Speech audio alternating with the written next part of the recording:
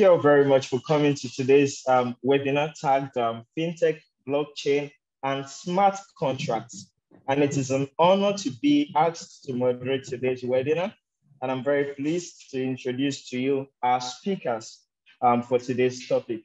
Um, first, we have um, Lady Victoria Walker, who is a consultant at um, Blockchain Solutions Architect.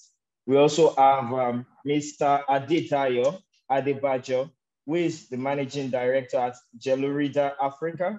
We have the third speaker as um, Mr. Chiagoze um, Iwu, who is a chief executive officer at Niger Crypto. We have uh, Mr. Max Ikongbe, who is the principal, Evelo Associates. And we also have um, Mr. Senator In Henyen, who is the lead partner in Fusion Lawyers. Now, before I go on to ask our speakers to do their presentations, I will speak a bit about myself and the company I work for. ESQ Trainings Limited is, uh, is focused primarily on providing knowledge sharing sessions, such as this webinar, and um, public and implant trainings for companies, law firms, techpreneurs, and businesses. Our mission is to expand the frontiers of continuous professional learning with trainings and courses across various practices. Um, we have tagged this webinar series, the launch our webinar series, as they are stated to hold at 1 p.m. during our lunch break.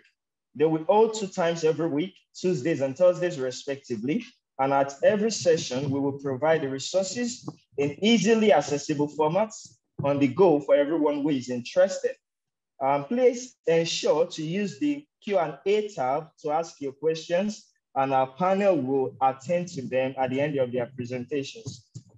Today's webinar is on FinTech, blockchain, and smart contracts. And blockchain is arguably the most significant innovation on the internet right now and has had significant impact on a variety of industries, including finance, legal, and even the regulatory landscape. So our experts will um, cover topics um, around um, the fundamentals of FinTech, blockchain and smart contracts, visualizing the regulatory landscape of the fintech industry, solving the world's greatest challenges through blockchain technology, the, the trust protocol, um, blockchain, DAO, and smart contracts, crypto regulation, adoption, and challenges. Um, without further ado, I would go on to call our first speaker, um, who would be um, Lady Victoria Walker. Um, you have the floor, ma. Thank you very much.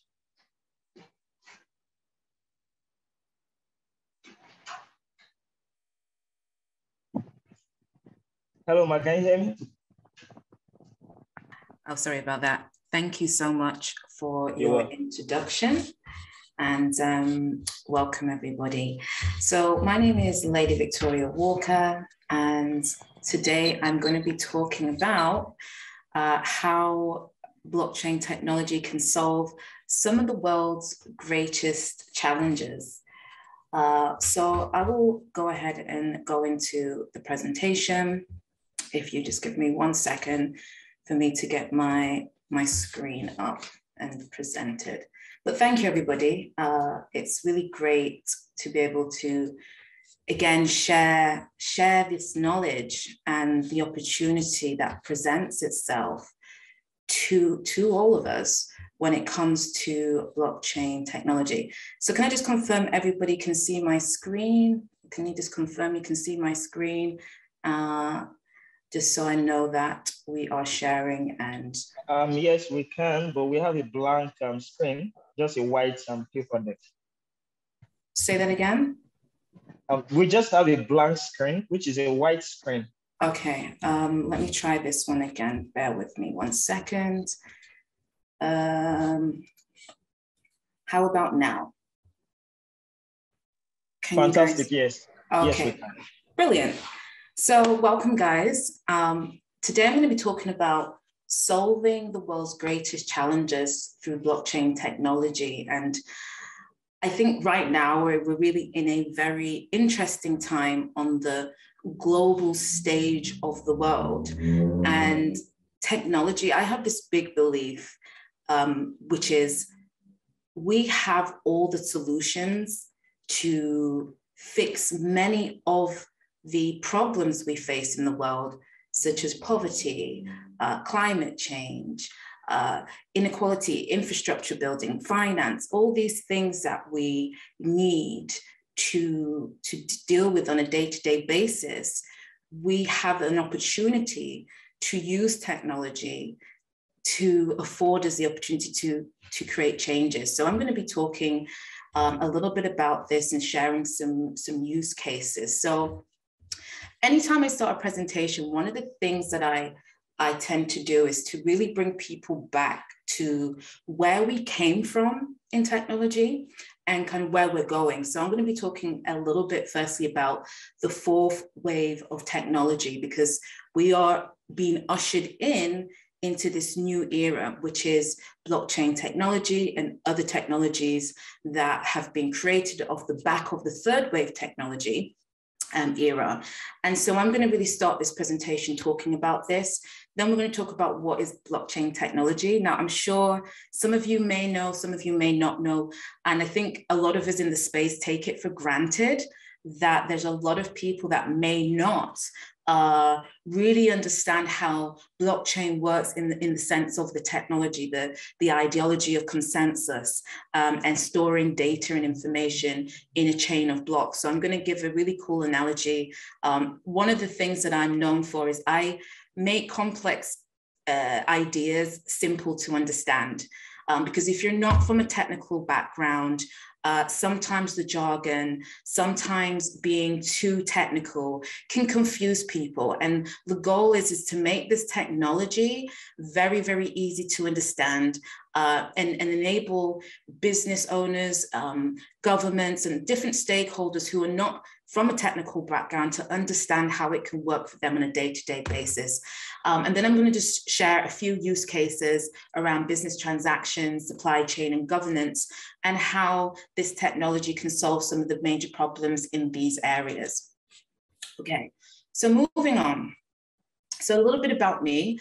Um, I'm Victoria Walker, Lady Victoria Walker, and I'm a blockchain solutions architect consultant and the co-founder of Cax Intelligence. And Cax Intelligence is a blockchain development company that supports governments, enterprises, and entrepreneurs to leverage blockchain technology in their organizations. So, you know, a lot of people did adopt some of the newer technology, um, like database warehouses and cloud technology. And now we really specialize in implementing blockchain solutions for business owners that feel this technology can add value to their, their projects or companies. Okay, so how can blockchain or how blockchain could change our world? So I want to talk about the industrial revolution. I start off here because this is kind of like the very beginning stages of where we started with technology and we are in a, going through the fourth um, fourth industrial revolution at this point in time in history. So going back, um, the industrial revolution, as some of you may know, was a period of major industrialization and innovation in the late 1700s and 1800s. Um, it, it, it, really began after um, the, the First World War and it was really about building and using new technology. Um, so the American Industrial Revolution, commonly referred to the Second Industrial Revolution, started some time after. So I'm just going to walk you through like the fourth fourth waves of technology, and, and that kind of brings us to today. So the first wave, which was the first industrial revolution, was when the first technology, which was about steam trains. And we started to look at manufacturing um, mechanisms. And this was kind of like the first time we started to see um, scientific and technology really start to change our world. We saw um, the ability to move goods um, from vast, vast, vast spaces because we had this new technology. Then we had the second wave of technology, um, which was the second industrial revolution. And this is where we started to see the industrialization of mass big factories that were creating cars and TVs and things like this. And this was a period between 1870s to the 1930s. So these were the, like the early eras. Then we went to the third revolution, which is where we are from the 1970s to today. So this was where we saw um, we saw credit cards being introduced, the internet, mass communications, uh, all these platforms that we have. So social media is even part of this this particular um, period of time. So this has kind of run from the late 1970s um, right down to today, where we have this um, technology, this mass uh, ability to communicate, um, to share content, to, to connect with people all over the world. And now we're at the beginning stages of moving into the fourth industrial revolution with technology, which is things like digital technologies, the Internet of Things, blockchain technology, um, augmented reality, and virtual reality. So we've seen these new um, technologies grow over the last 10, 15 years. Um, we have the Internet of Things, which is where we're connecting objects to uh, information and data on the in the real world to the technological world. Um, we see things like virtual reality and augmented reality, where we're having to again interface technology more into the real world. Um, big data, artificial intelligence, cloud computing, these are all fourth wave industrial technologies that are set to change the world. And what we're going to be talking about today is blockchain, which I believe is the number one technology that underpins a lot of these other fourth wave technologies. And as I said, my, my belief and why I'm so passionate about blockchain technology and many of the uh, applications is because it can solve some of the major problems in our world. So you're at the cusp of a new wave, a fourth industrial um, revolution. And when you understand the possibilities, you can maximize the opportunities. And that is the core of why I'm here today is to share with you all the potential opportunities, the problems, and the solutions we can implement with blockchain technology. Okay, so what is block, blockchain technology? Uh, so for, for those of you who don't know, I, again, as I said, I, I use a very strong analogy because I think you have to really understand the basis of technology, of what it does and why it's different. So I have a little analogy called the Moorlands Village. It's a story that kind of conceptualizes how and what blockchain does. So once upon a time, there was a small farming village called the Moorlands, and the Moorlands was a very small community. It had about 64 citizens with 15 families. And these families would farm, they would hunt, and they would produce their own goods. And at this time, there was no sort of money. So they used to trade these items between the families. And it was a good way of doing it because it was easy for people to to manage uh, you know trade so maybe one farmer had oranges and another person had grapes. So they would trade these items, and the families trusted each other and worked as a collaborative community. So, as I said, on some occasions, one family might not have enough items to trade. And so, what they would do is they would trust or loan the goods until the other person or family could repay. But then it became a problem. There were too many promises to pay, and there was just too many IOUs. There was no order or no system in place to keep record of these transactions and the IOUs. So this caused a lot of confusion. And, you know, the villagers started to lose track of what was actually um, owed out. So then they came up with a solution, and this was to hire a ledger man. This was somebody who would basically be assigned to keep track of the items in a ledger. So it was like a scorekeeper. He worked out um, what was owed, uh, what was meant to be paid out, and it worked because there was now like a record keeping ledger that everybody trusted and believed that okay this information on this ledger is true and you know we can trust it But then the ledger man started to add in charges for his record keeping services. Um, and then further down the line, he started to accept bribes to wipe off the debts. And so the records lost the integrity and it was no longer fair or honest.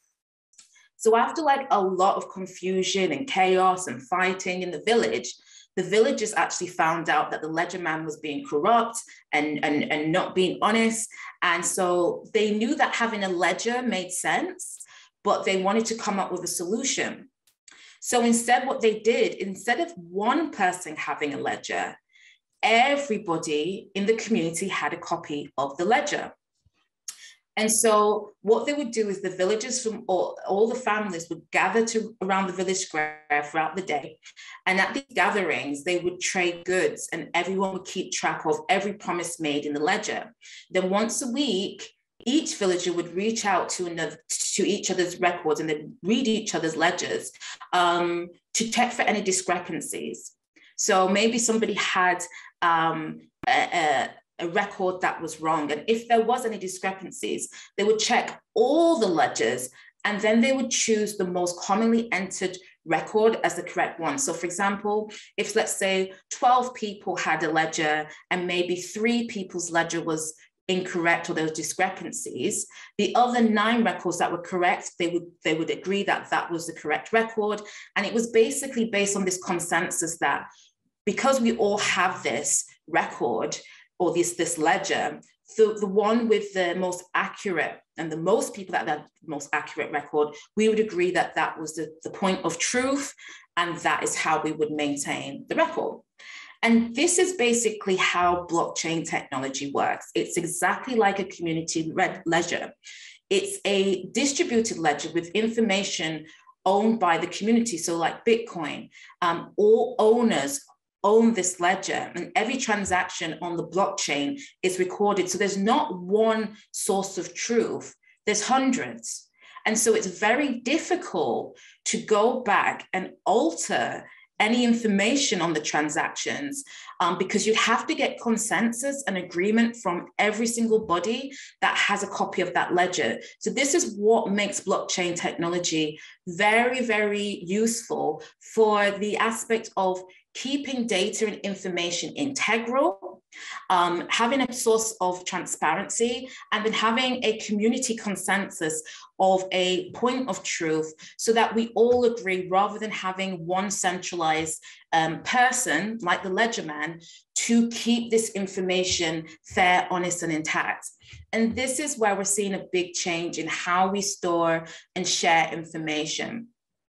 So, how can this technology, this ability to be able to have this one source of truth, be able to change and, and solve some of the world's biggest challenges. And this is where I talk about um, three use cases that I think can be quite helpful for you, for you all to understand how we can apply this technology to create a more fairer, transparent, and community-based world. Because really right now, how things work is we, we, we always have to rely on a third party.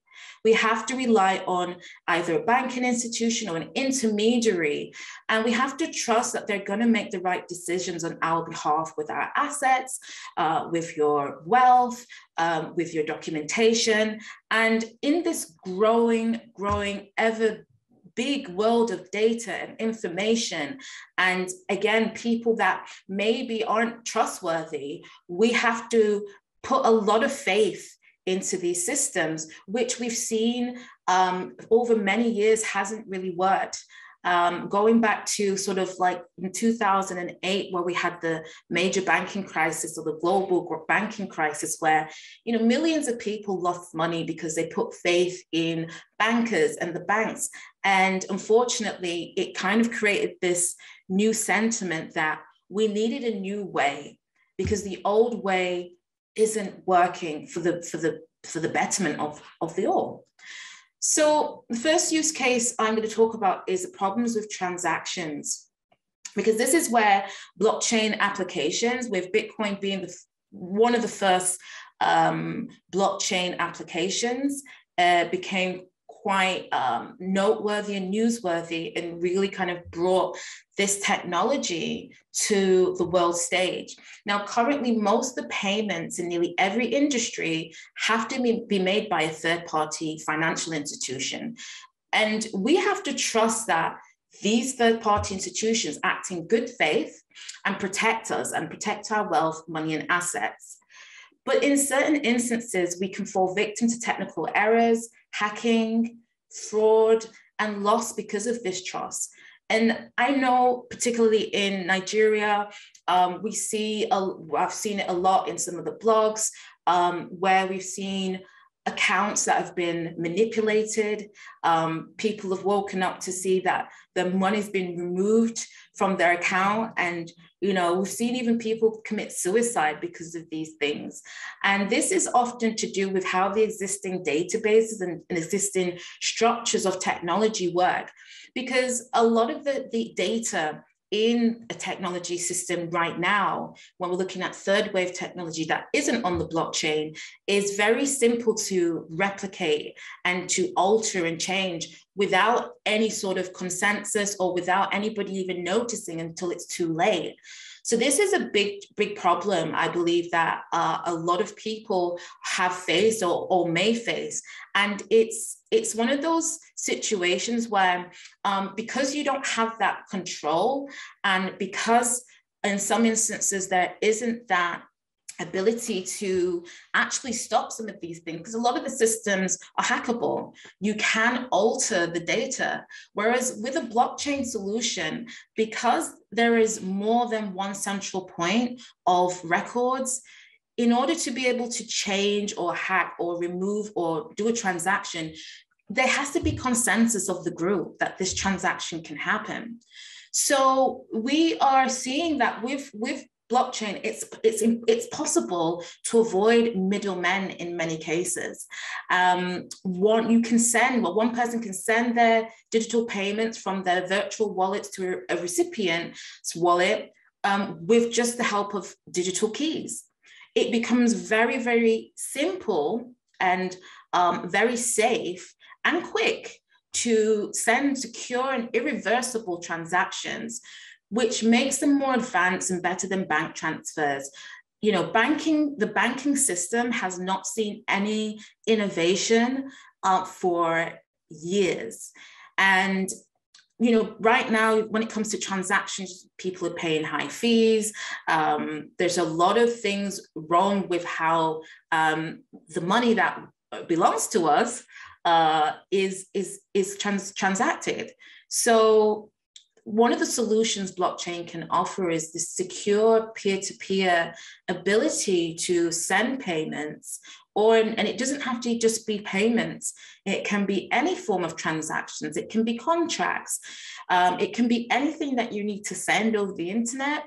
A blockchain can provide that ability to have that integrity and truth and also that it's not just held by one person we can ensure that our data and information is held via consensus on a group of people.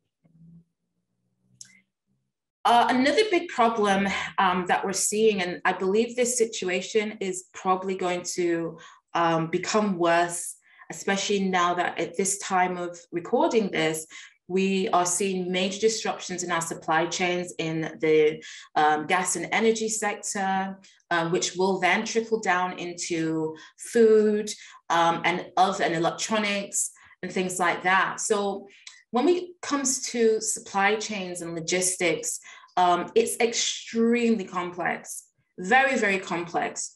You know, some products undergo dozens or even hundreds of steps in the supply chain journey just to reach your doorstep.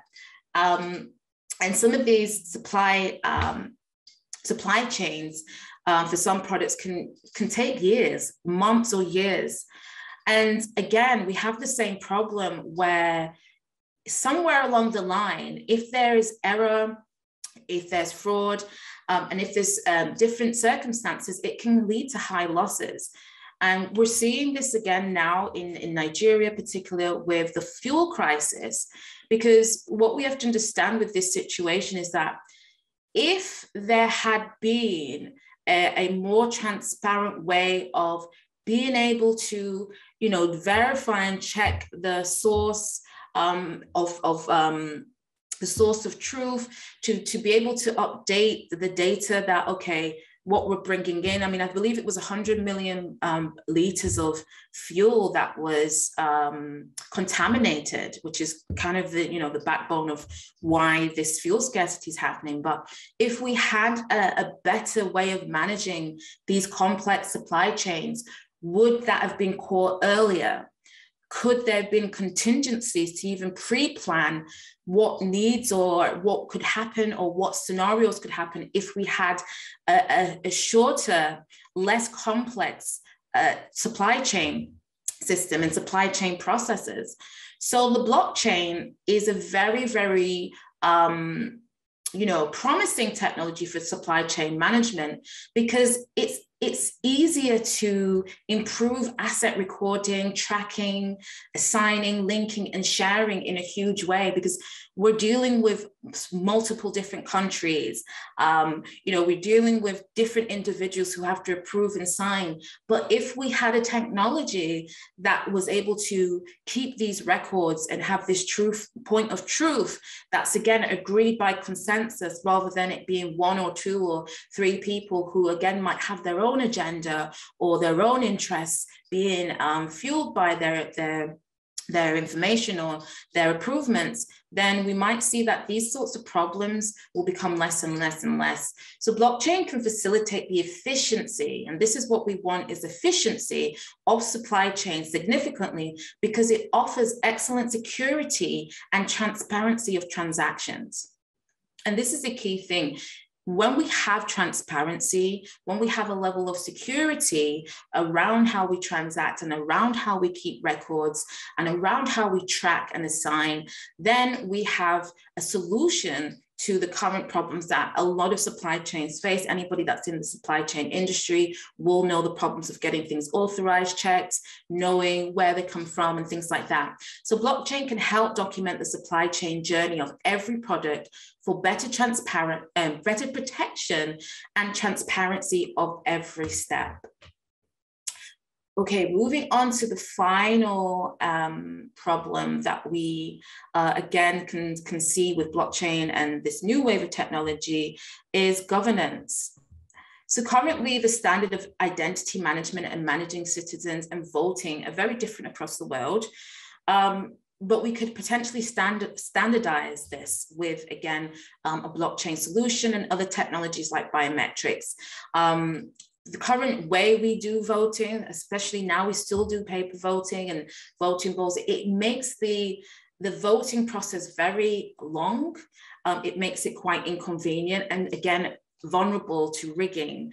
Um, so when we have these again um, loose areas, we also have this challenge of being able to again, how do we verify the data? How do we know it's real? How do we know it's true?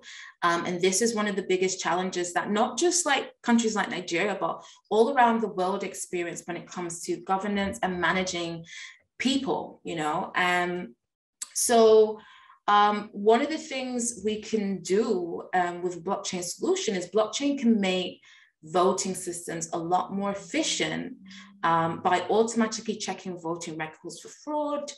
Um, again, a combination of biometric technology and blockchain can replace the outdated voting system of paper ballots and having to queue up and registration. And it will make participating in elections, receiving any government benefits and traveling a lot easier for us.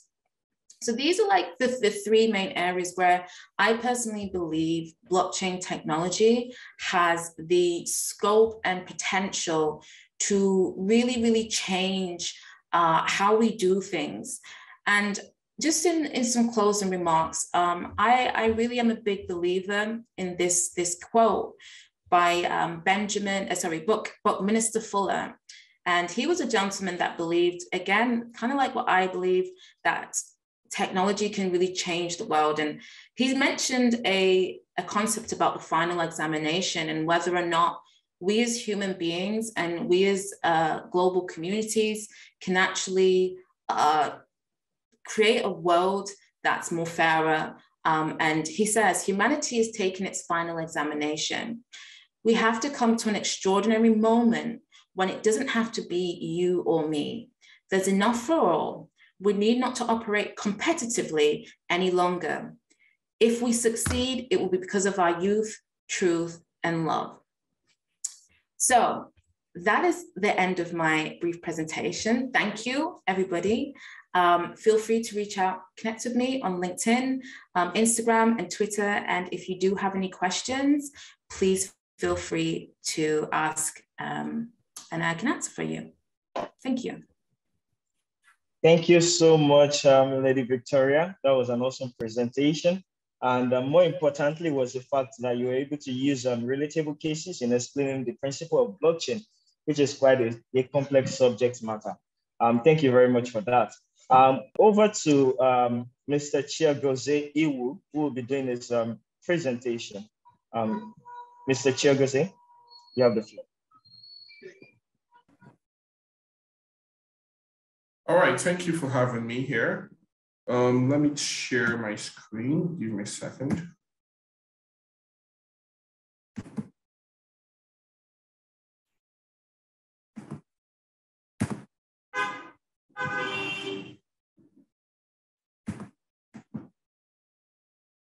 Okay, just to confirm that um, you can see my screen, right? Yes, we can, clearly. All right, all right. Okay, thanks once more for having me. My name is Chiagoze. I'm the founder CEO of Niger Crypto. Um, we're basically digital assets exchange, and uh, we basically the aim is to revolutionize the African financial ecosystem utilizing the blockchain, right? So uh, I'm going to be talking to about the fundamentals of blockchain, fintech, and smart contracts, right? And I'm also going to do a bit of a historical dive, right, into how digital assets came about and the origin and some of what formed what we have today as digital assets, right? So, so basically, um, my co-panelist has actually said a lot about uh, blockchain, so and and about fintech a bit. So I'm not going to dive so deep into this, but let me talk a bit about fintech, right? So basically, um, back in the mid 2000s, not, not just the mid 2000s, from the 80s to the 90s, right? I don't know whether some of us have watched this movie where um, sort of like on the trading floor, everybody's on a phone, like like a brokerage firm. Everybody's with a telephone, right? Trying to get price quotes from different area, and it's noisy and it's chaos, and everybody's it's almost like everybody's going mad, right? So this was what financial services was like many years ago, right? Before uh, before fintech came in, right? And most financial technology actually evolved from solving some of all those back office problems, right? So it was it, there was usually no focus on end user like on how the consumer is going to be applying this technology and using this technology. It was more or less solving like banking processes, like oh, how do I get um, a customer information and get this? How do I push trades? Um, how do I push trade information from this broker to the clearinghouse uh, down to the stock exchange and things like that? So this were some of the things and Funny enough, some of the biggest players in the fintech and even the blockchain industry evolved from this society. Case in point, someone like uh, Changpeng Zhao, the, uh, the CEO of Binance, right? He works for Bloomberg in some of these um, back office applications and things like that. So basically, this is how fintech evolved today. It has evolved to end user, and wherever technology is being applied to streamline financial services, to optimize and make financial services more effective and better. We call it financial technology, fintech, right? So, of course, one of the most popular forms of this these days is blockchain, but uh, fintech has been an evolving industry from um, apps that help you uh, make trades easily to apps that help you send money easily. Even your banking app is a form of financial technology down to a lot of things we see today, like the big fintechs in Nigeria, the Piggyvest, the Cowrywise, the Kuda banks, the um, a, a, lot of them, right? These basically an industry that raised eight hundred million dollars just last year, right? mainly because of Flutterwave, Paystack, and a couple of other companies. And uh, the global fintech industry is about 110 billion dollars, right, in size. That gives you an insight, and these are all conservative estimates. This gives you an insight into how huge um, this industry is, right? So um, Victoria said a lot. I gave an amazing analogy, right, to understand blockchains. I'm not going to dive so much into this, right? But um, I'm just going to brush it up a bit. So basically, right? Blockchain is a form of DLT, right? And a, a, DLT, like she said, right, is a situation whereby you have records that more than one person holds, right? So it's not just one person, it's not just one central party holding these records. More than one person, like lots of people, in the case of the modern day blockchains, tens of thousands of people have access to this information, right? Through what we call nodes, no? And this information, once there is an alteration on this information, is the same alteration across board. Once there is validation of this information, it's the same validation across board, right? So what, e, what is in node A is in node B is in node C is in D. Like everybody holds the same form of information, right? And DLTs, believe me, DLTs have been a popular concept, uh, at least with blockchain. I've seen papers on DLTs as far, as far back as the uh, 1980s, right? Yeah, 1970s, 1980s. And funny enough, the US government was doing something with DLTs um, in the 1980s. But um, where blockchain, like sort of like revolutionized this is, it brought in cryptography and the fact that information is transferred, like a, each block holds a certain amount of information and links to another block, hence the name blockchain, basically. So um, it's where blockchain really, really got it. Rest Satoshi Nakamoto, whoever he is, God bless his soul. or if he's, if he's dead, kudos to him if he's alive, whoever he is, is where he got it perfectly. And with the cost of this, you're going to see that um, it, he wasn't um, he wasn't the first person to come up with an idea, but he was one of the first people to make it actually work. Right. And yes, as blockchains, one, one of the characteristics that blockchains and all DLTs, by the way, have, but blockchain, the cryptographic element of blockchain makes it even better, is that it is immutable. What do I mean? So if use if a transaction is recorded on a blockchain today, the time is 138, 10 March 2022. In the next 70 years, nothing changes about that transaction. Right. So uh, um, in, in, the political scene, we say we're say history is written by victors of war, right? And everybody can manipulate things to their own taste. In the case of the blockchain, right, this is unmanipulatable. This data cannot be changed. It cannot be altered, right? And basically, it's impossible, right? It's, let me not go into the technicality of that. So smart contracts, this is where things get interesting, right? So smart contracts is, um, I personally think that smart contracts is one of the greatest inventions of the 2010s, right? If not the greatest invention of the 2010s, right? So basically, when you have a series of programs, right, that executes automatically based on some preset conditions. So normally, if I get into a contract with somebody, there are times if I do this, do this, do this, we do this. If we if I do this, do this, and we need physical enforcement to enforce that. Yes, like example, if I enter a contract that oh, I want to buy, um, oh, I want to buy this piece of land, right? And um, at so so date at so so price. If I do not, uh, if the person that entered that contract to sell me that piece of land at that price at so so they does not do that, right? I need to go, I need to sue them to court, and I need the judge to um to sort of like declare that yes, this land belongs to me and things like that. But in the case of smart contracts, right, it's auto-executed. If I enter into this agreement, right, automatically ownership rights are transferred to me automatically, right? So it's using a variety of things. In fact, um, smart contracts has been theorized by the Szabo like many years ago, but the Ethereum, which was founded by uh, uh, an individual called Vitalik Buterin and a couple of other folks, right? So they made this thing more popular, right? Because they actually now synchronize smart contracts with the blockchain and made it in such a way that smart contracts are written on the blockchain. And this is what makes a smart contract immutable and binding, right? So if if we, uh, let, let, let's assume um, using the same example of an asset transfer situation, right?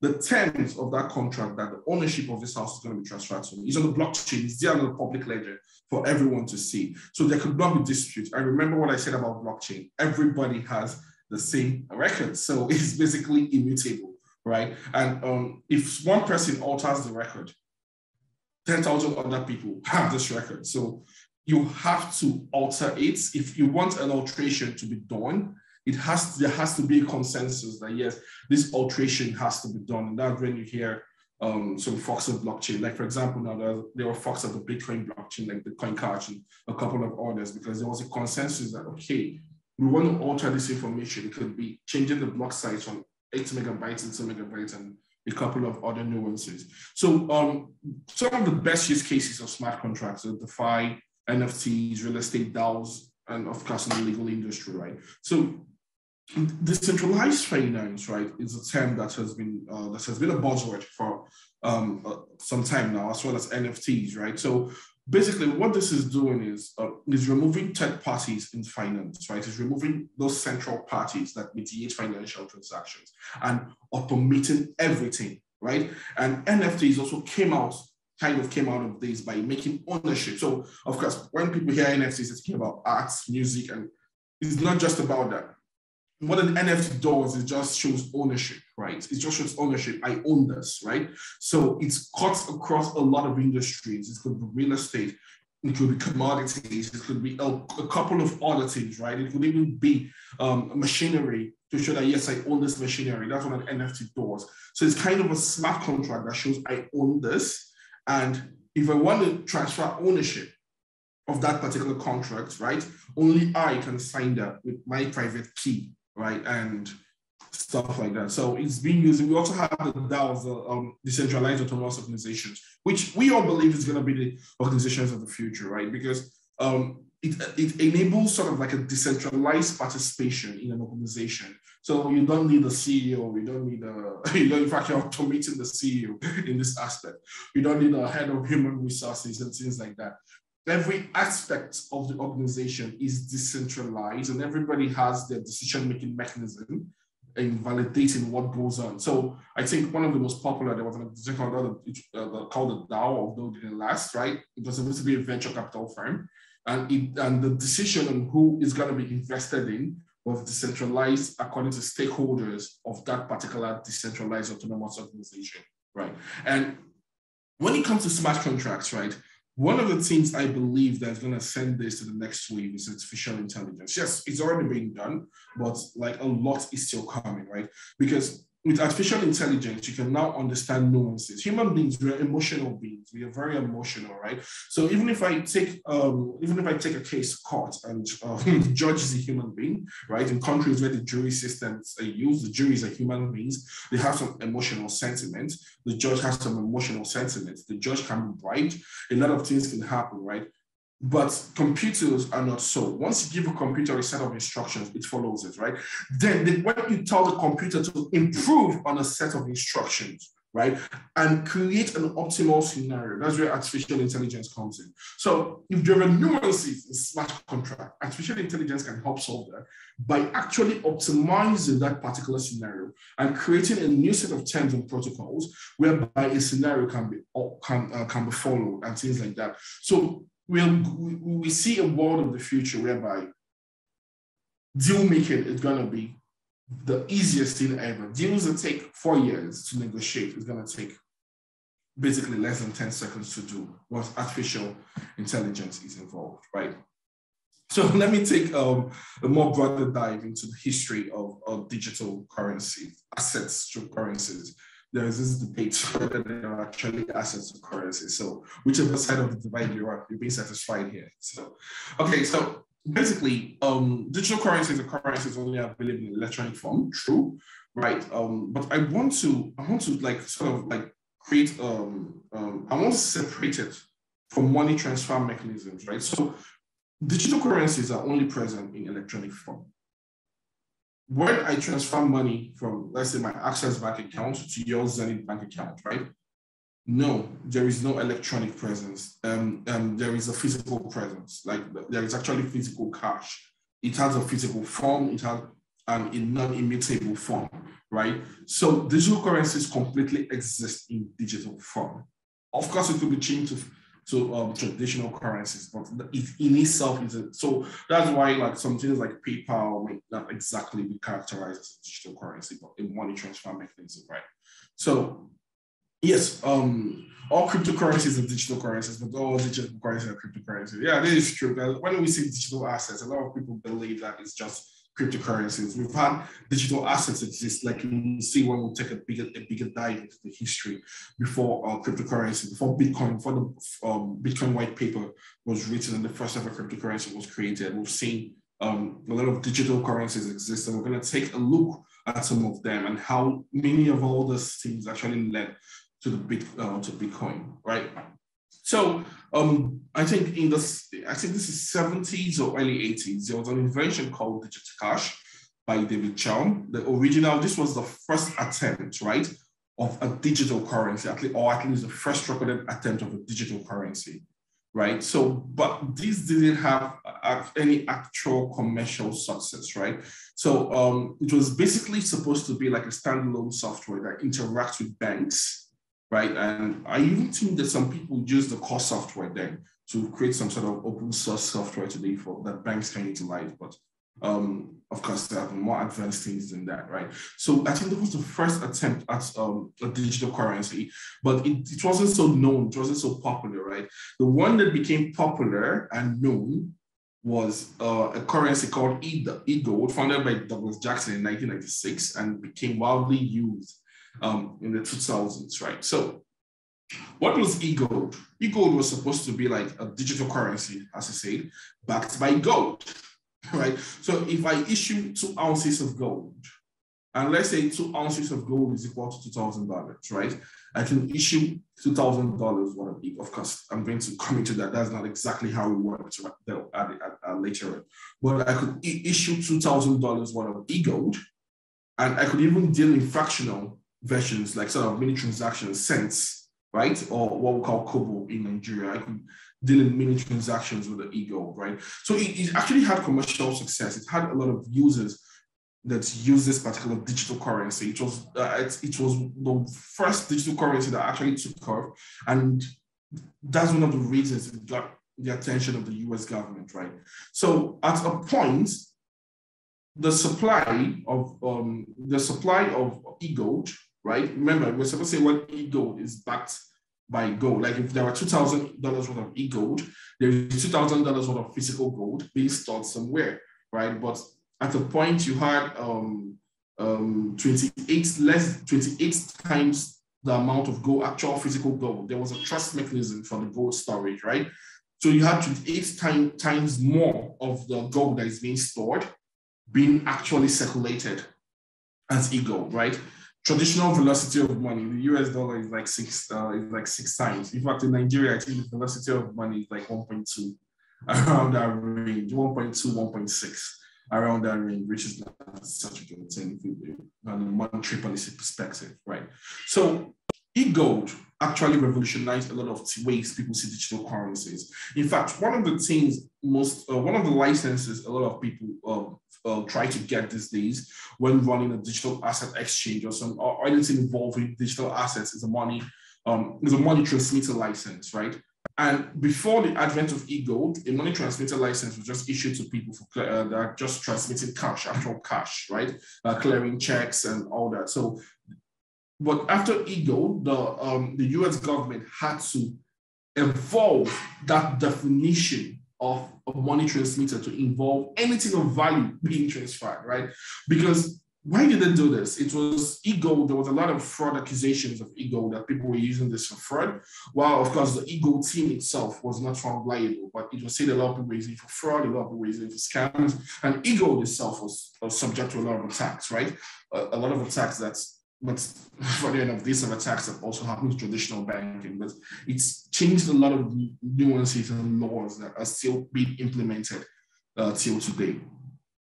So there are other uh, uh, pre-Bitcoin digital currencies, Hash, Cash, Web Money. Some of them are still existing today. Web Money, Perfect Money, still existing. Um, BitGold um, I've mentioned Nick Szabo when I talked about uh, the original proponent of a smart contract, right? Um, these are very important figure when it comes to the evolution of digital currencies. And this is why a lot of people believe he's actually Satoshi Nakamoto, right? So um, before I go into before I go into what um, before I go into Nick Szabo and BitGold, first of all, right, let me talk about Liberty Reserve. Liberty Reserve, right, was very popular in the uh, early 20s, uh, in the sort of the late 2000s, the late 2000s, before it was closed down.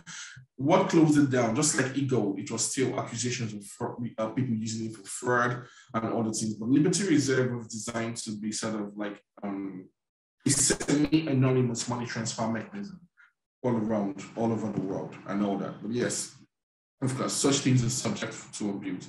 So BitGold, yes, it has um, um, of course, it's still theoretical, by the way, it was never implemented, but BitGold had a lot of similarities to Bitcoin, right?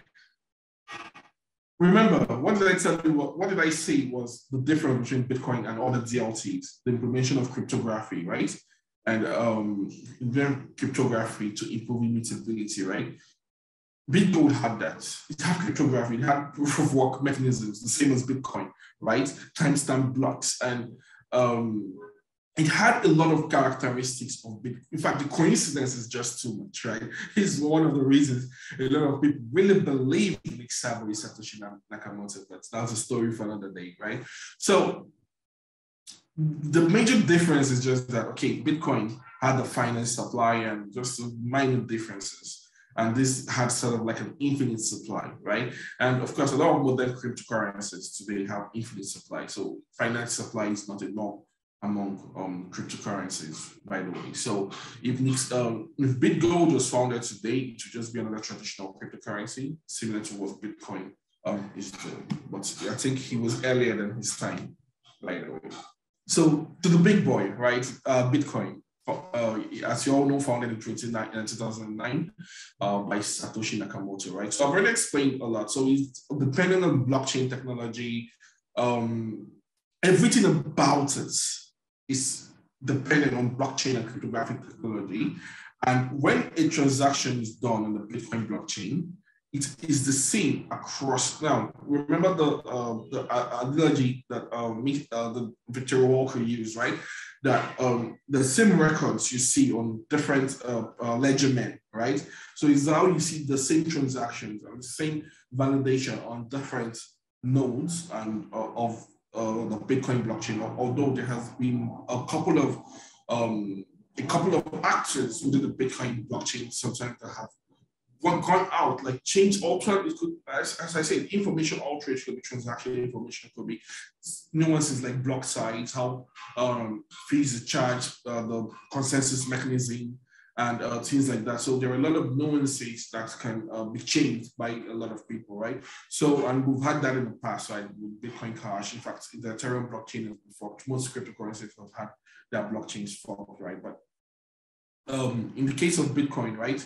Yes, it has it, but the original Bitcoin blockchain still maintains that immutability. In, in a thousand years, right? Those same transactions as it was on 10 March 2022 would still be the same. Yeah, one Bitcoin was sent from Esquire lawyers to Chigozie Iwu, right? And all that. So it's gonna um, it's gonna remain um, the same and all that. And fortunately, is we have a lot of cryptocurrencies today. Um, of course, I believe Ethereum is one of the uh, has revolutionized the way we see not just uh, cryptocurrencies but also smart contracts and tokenization right? So and we've had a lot of cryptocurrencies with a lot of good use cases come about. We've also had a lot of cryptocurrencies with not so good use cases come, come about. But um, it's a growing industry it's a growing technology and it's evolving right? And the blockchain beyond financial transactions like Ms. Victoria Walker said it goes beyond that like there are a lot of use cases in supply chain management, in weapons manufacturing, weapon safety, um, in, in um, logistics, in um, in even the way, in, in even in the legal sector, right? And uh, I, I tell people, right? Tell me what you do, and I'll tell you how blockchain is going to revolutionize your industry.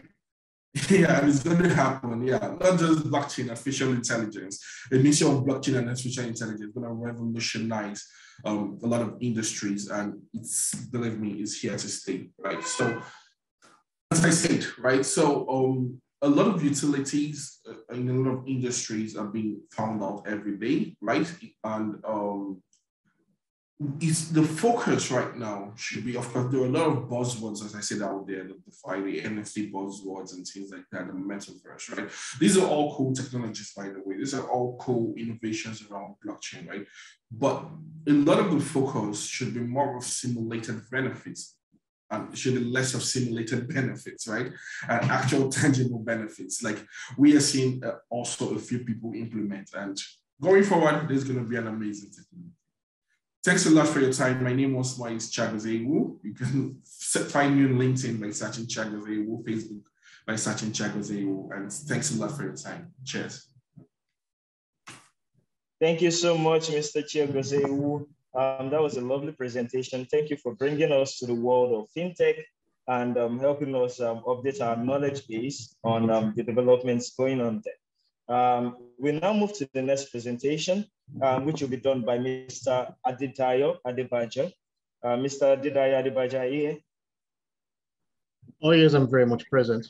Awesome. Please, you have the floor. Um, 20 minutes to make your presentation. All right. All right.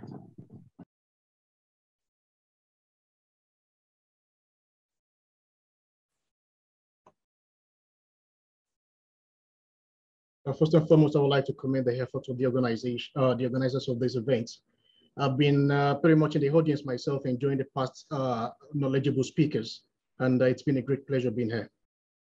So, uh, briefly, to cover my own section, so I'll basically be talking about two topics which have been pretty much covered by the previous speakers. section one on the foundational principles of blockchain technology and smart contracts, and the second one, which is the universal and finance industry specific benefits of blockchain technology and smart contracts. Um, so briefly about myself. So my name is Adetayo Adebajo. I'm the managing director for Jelurida Africa DLT, uh, which basically have uh, presence in Ghana, Nigeria, Rwanda, Kenya, Tanzania, pretty much uh, into uh, blockchain technology, uh, uh, education, consultancy, and solution development. So let's first of all get through uh, the blockchain trends today. We have uh, the likes of the NFT, also called a non-fungible token, uh, which pretty much enables you to digitize uh, uh, your media, your artworks, and various things you want to digitize, only creating just a single copy of it uh, for you to be able to send and receive between various parties.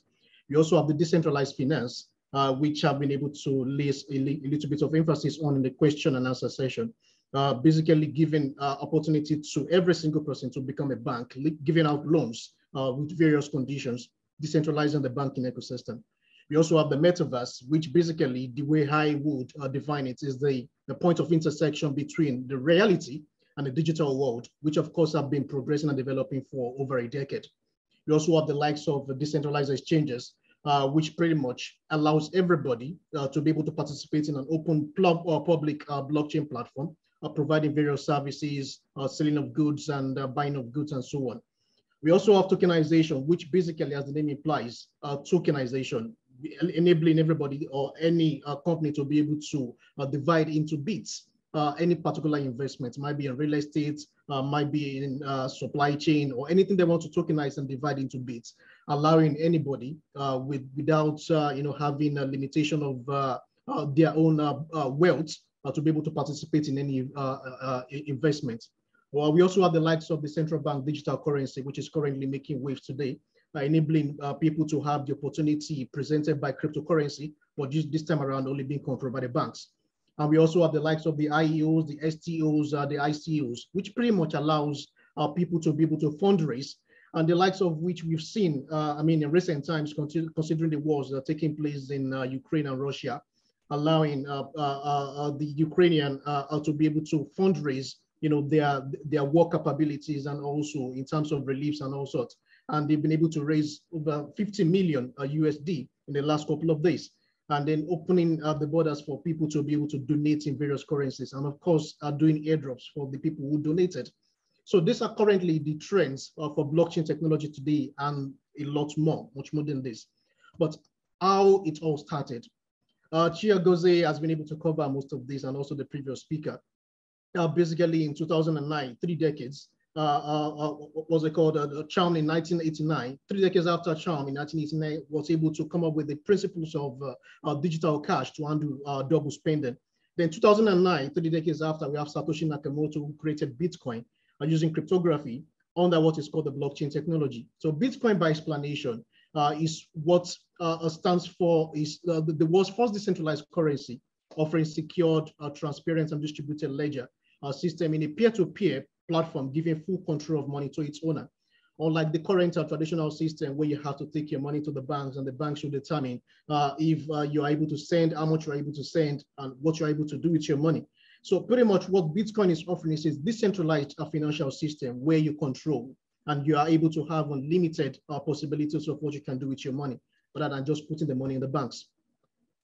So like I said, so the topics I'll be speaking on are basically divided into two. So let's look at the underlying concerns of the current financial systems. Uh, number one, which we, have, we can uh, discuss about is the integrity uh, the decentralization, security, and inclusiveness, and of course the privacy, which is currently being provided uh, by the current traditional banks. So the integrity aspects, how is blockchain solving this? The decentralization aspects, how is the blockchain coming in to provide uh, affordable solutions? Uh, the security, inclusiveness, and of course the privacy. So how are these being uh, addressed using blockchain technology and cryptocurrency? So this made uh, uh, the foundational principles of the technology itself. Uh, the integrity, for example, we are always uh, uh, uh, discussing about how the ledger is being kept, who is in charge of the ledger. For example, if you're trying to make transactions between uh, two different banks in the country, uh, there is hardly an opportunity for you to be guaranteed of instant settlement. And aside from that, how are you able to view the ledger to actually confirm that the person you're sending the money to has not or probably has received the money? So you have to rely solely on the, the banks to be able to provide you these details, which of course takes hours to days to weeks.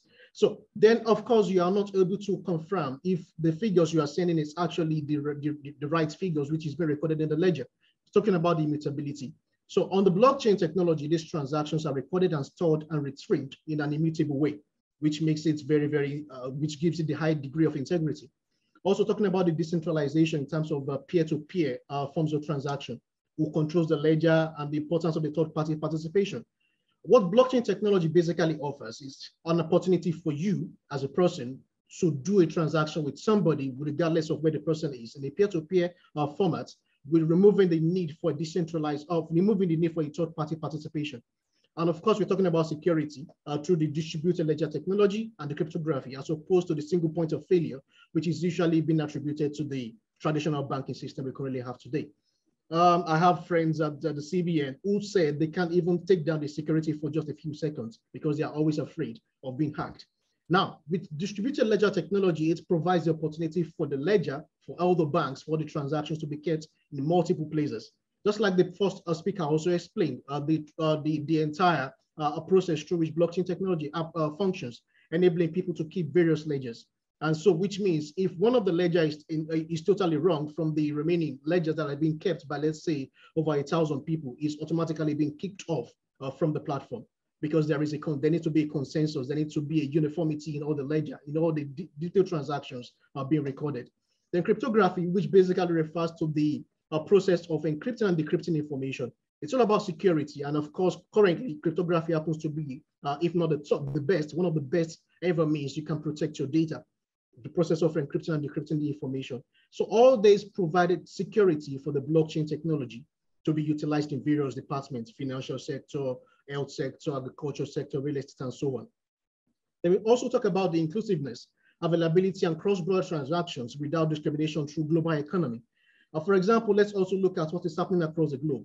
In some areas, let's let, us let us even take it to down to our local uh, uh, uh, uh, existence. Let's say you want to book a flight ticket uh, to a different country, and then you are trying to make use of uh, your credit card, which basically allows you to be able to spend naira. Then of course, you know there there are some airline that you try to book because of the payment gateway they are making use of, not be able to make use of your naira card. Or probably you can even be in a different country and you want to be able to make use of a card, but simply because your line is not roaming, you're not able to make a transaction because you can't receive an OTP. So all this uh, kind of uh, makes it difficult to have a global economy where you can easily spend what you have to get what you want in whatever situation you have. But with blockchain technology, you're able to make cross-border transactions, and it's often every time it's always available for you to use. So you can send money in, uh, regardless of uh, the type of volume or, or the time of the day. You can send money anytime to anybody anywhere across the globe. So which means you can transact, you can have dealings with anybody regardless of where they are, sell and receive, or send and receive, and so on. Then of course we talk about the privacy through the trustless trust peer-to-peer -peer system where your identity is secured as opposed to the third-party verification and validation of platforms making money off your data. So with blockchain technology, you can always be guaranteed of your privacy, despite the fact that you're also transacting with you know, numerous people across the globe. So then what exactly is blockchain technology? So I'll just be defining this based on what you can already see on your screen. It's been, uh, uh, uh, the emphasis has been given, is been explained in detail by the previous speakers.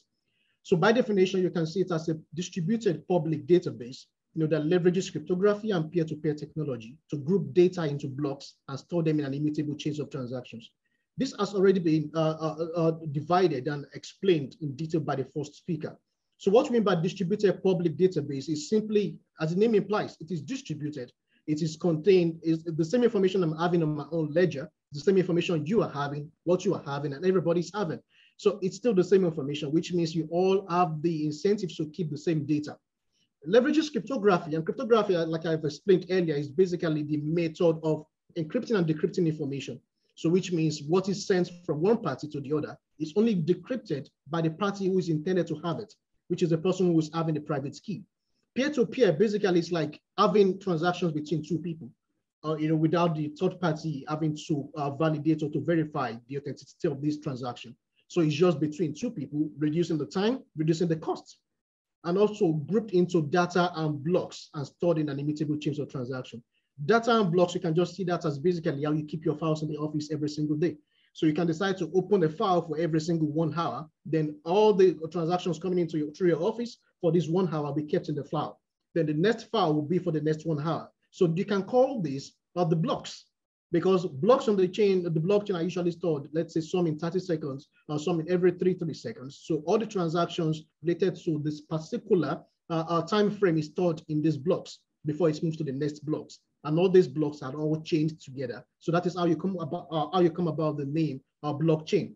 So simply put, it's a system in which a record of transactions made in Bitcoin or any other cryptocurrency are maintained across several computers that are linked in peer-to-peer -peer network. So then let's talk about smart contracts. Of course, uh, Chiagozie has also been able to lay more emphasis on this, uh, which is a good thing. Uh, so uh, like the question being asked in, the, the Q&A section, people want to know what smart contract is. As a lawyer, you can see a smart contract basically as the same contract, you know, that uh, is attributed to every agreement uh, that is being entered by two or more parties. But this time around, these are protocols, you know, running on the blockchain that are digitally facilitated, uh, that facilitate the verification control or execution of any agreement in forms of transactions. Uh, let's take into consideration that transactions this time around may not necessarily be financial transactions. Transactions include any digital forms of uh, exchanges. So let's say you want to send uh, a music, uh, a document which is digitized, you know, to, to somebody. This is also a transaction. Let's say you want to send a document which is also digitized, a digital form of a document to somebody on the blockchain. It's also a transaction. So transaction basically refers to any digital assets being transacted between two parties or more. So smart contracts, they are faster, they are cheaper, and they are more secured way of executing and managing agreements. And why are they faster? Because they require just a peer-to-peer -peer forms of transactions. Why are they cheaper? The middleman is already being removed. You don't need, uh, uh, sorry to say, you don't really need all the lawyers to come together before you can have an agreement. And how is it secured? It is using the distributed ledger technology and also cryptography to encrypt and decrypt the information. And of course, there are also self-executing contracts processing all transactions of various types, removing the need for third party or middlemen. So basically, this is what smart contract is all about. So um, benefits of smart contracts includes the autonomy and savings. Of course, you are able to minimize the amount of money you are spending in creating contracts all the time. In terms of backup, you know, we are using the distributed ledger technology, which is also immutable. So all the smart contracts that are being deployed on the blockchain are always stored on the blockchain. Then of course you have the safety, we have the speed, we have the accuracy, and all these maintain the benefits of smart contracts as opposed know, to the traditional way of doing things where you have to go through the process of having paper written documents, enforcing them, and then also uh, catering for court proceedings for the breach of contract. All these are all coded in the protocols and uploaded on the blockchain to self-execute. So these are the benefits of the smart contract. So you, you, you can tend to ask the question that if you have Bitcoin, then why are other cryptocurrencies created?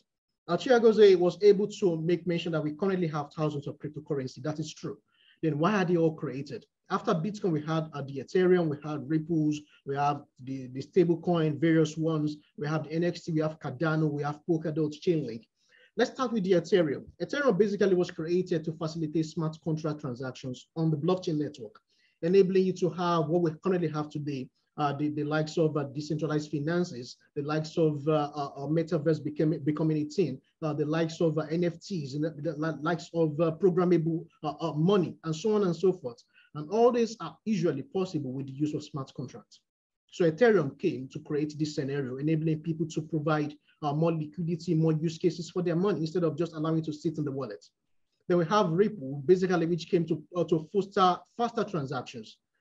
And we, then we have this uh, the stable coin like uh, like Tether, like uh, BUSD, and so on and so forth, which basically is to uh, uh, foster more uh, adoption for people who want to be able to have a stable source of income rather than having a volatile market. You know, if you receive a USD today, let it remain one USD and not tomorrow it can become like 5 USD in value or probably it can become even lesser than that. Then we have uh, the proof of stake consensus algorithm. NXT being the first one in 2013, then Cardano, and we have a lot of uh, uh, uh, delegated proof of stake as well today. Basically, what this came to achieve is to minimize the amount of uh, consumption, power consumption on the blockchain. All these previous ones are listed, the Bitcoin, the Ethereum, they make use of what we call the proof of work consensus algorithm which basically utilizes a lot of power, a, little, a lot of computing requirements by the machines used in mining. But with the proof of stake consensus algorithm, you're able to use just a little amount of power, and of course makes it uh, sustainable. Then we have Polkadot, Chainlink, and the likes. Basically, what the blockchain technology has been uh, uh, battling with for the past, let's say, the past decade, before the advent of Polkadot, Chainlink, the Ardor network, and so on, which basically offers interoperability is the communication between these uh, uh, uh, blockchain uh, platforms which are operating in silo. It's difficult for you to have an interaction between uh, various blockchain platforms. Let's say Ethereum, uh, Cardano, even the stablecoin networks and so on. But with the likes of the Polkadot and Chainlink, it's actually possible for you to have instant settlement or interoperability between all these networks, which is pretty much, you can see it as, you know, bringing all the banks in Nigeria to operate a single node or to operate a single, uh, uh, uh, uh what's it called, a ledger, uh, which instantly they become a consortium blockchain. So having instant settlement, having uh, instant communication between the banks for you to be able to view uh, where the transactions are currently, uh, where uh, in case of uh, field transactions, for you to easily revert them and so on and so forth. Then also we have the forks of uh, Bitcoin, which are Bitcoin Cash, Bitcoin Gold.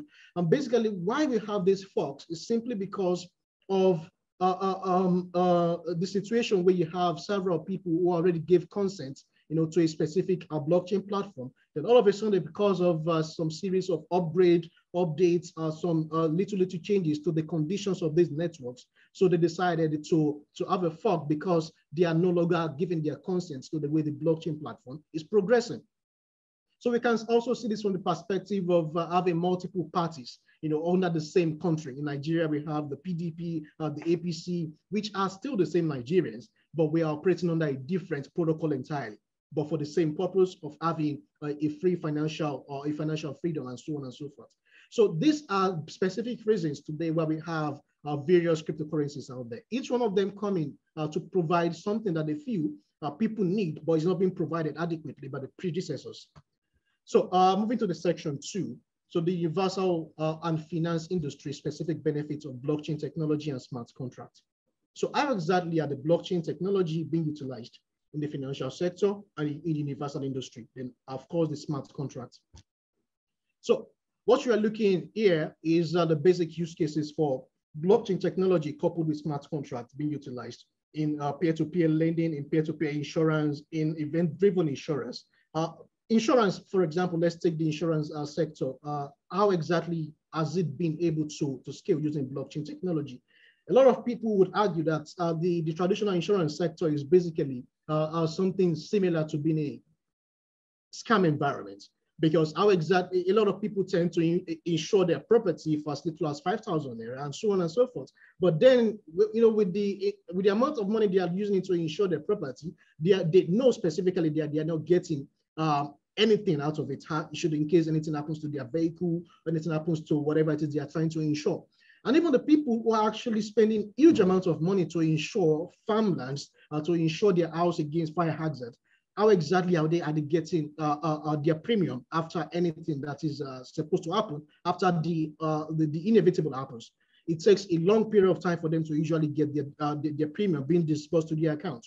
But with blockchain technology coupled with the likes of the oracle smart contract the smart contracts environment itself it enables people who are providing insurance for their properties to get instant disbursement once the conditions are met we're talking about Oracle smart contract being fed with uh, uh, the, uh, the fourth industrial revolutionary technology that the first speaker made mention of, the likes of IoT sensors, you know, being plugged into the smart contract environment provided by the Oracle smart contract to provide signals, which then create the condition for the smart contract to execute. Let's say a house is burning, for example, and the house was already insured. So the, the IoT sensors in the house provides a signal that the, the house is currently being uh, bombed uh, or probably even uh, uh, totally incinerated. So this, the, the sensor in the house is able to provide the information required you know, for the smart contract to automatically kicks in. So once the signal is being sent to the smart contract through the Oracle uh, uh, database, of course, so the smart contract then automatically execute, providing the, uh, providing the premium uh, to the person who insured the property instantly without having to go through uh, the, uh, the rigorous uh, stress, you know, the time and also a lot of other stress involved in claiming uh, the, the, the, the, uh, the basic thing is deserved, you know, getting the, the, the premium paid into his account. All these are done smartly, automatically in an instant, probably a couple of seconds. So which can tend to, tend to give you know, credibility back to the insurance sector. We also have the foreign exchange instant settlements, cross-border payments, our trade finances. All these are various applications, which of course provide transparency in an immutable way uh, to the way we do business today. Real-time payment is no longer an issue. You can easily send money from here to Ukraine in a couple of seconds, which can't be done with the traditional systems you currently have. And of course, in the cheaper way, trusted way, of course, using blockchain technology. And all these are also powered using smart contracts.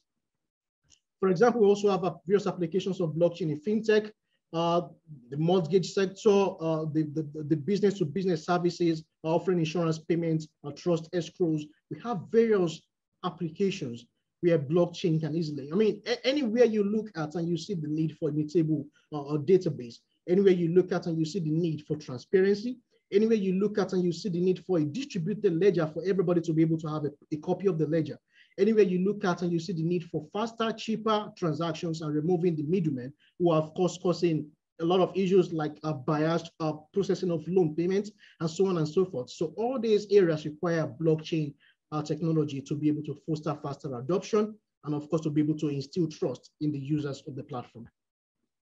We also have the, uh, the, the cards and payment sector, interbank settlement, like I've explained earlier, uh, uh, cross-currency transactions, you're able to automatically exchange uh, your Naira to USD, uh, uh, to, to pound sterling and so on and so forth. Also making micro payments. You know, today, well, in Nigeria, you know, back in the days, we used to spend kobo and then as little as five Naira, but today we can't do that anymore. Even on the blockchain, using Bitcoin uh, as a means of uh, payment, you can still spend Satoshi, which is the micro uh, uh quantity of Bitcoin itself.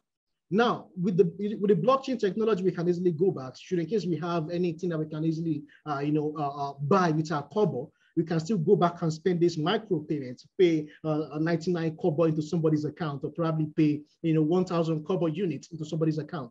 So you're able to make micro payments at uh, uh, a toll gate, you know, at various places. And of course, you're able to instantly disburse loyalty uh, uh, point uh, to your customers if should the case you want to offer loyalty programs without having to go through centralized systems. All this can be done using blockchain technology. Also looking at the capital market, we can easily issue smart bonds, equity issuance, OTC derivatives, or purchase agreements, and so on. And all these are possible utilizing blockchain as a crypto and also smart contracts to be able to smartly execute all these uh, uh, uh, uh, opportunities. Then of course we have the banking, the commercial lending using DeFi, you have the supply chain financing, uh, the trade finance, we have the mortgage lending, the KYC processing. Uh, specifically, you know, in the blockchain, um, let me say the blockchain ecosystem, basically you can easily transact with varieties of people because you can easily verify the history of the accounts they're using, whom they have been able to transact with, how much they are capable of transacting. So all this without you having to go through a third party. So you have uh, the KYC you need to be able to do all this. And of course, it makes it easier for you to trust you know, the person you're doing transaction with, even though you don't know the person, the person is still anonymous, but you're able to see their address, you're able to see the previous transaction. You're also able to trust them because of the smart contract uh, that is guiding the transaction in between uh, your peer-to-peer -peer, uh, platforms. We also have uh, applications in the utility like document management. You know, everything is going on the blockchain, everything is going on uh, the digital uh, uh, uh, infrastructure these days. You have to try to save the planet, of course, by cutting down, you know, the amount of paper that you're, you're using in your various offices.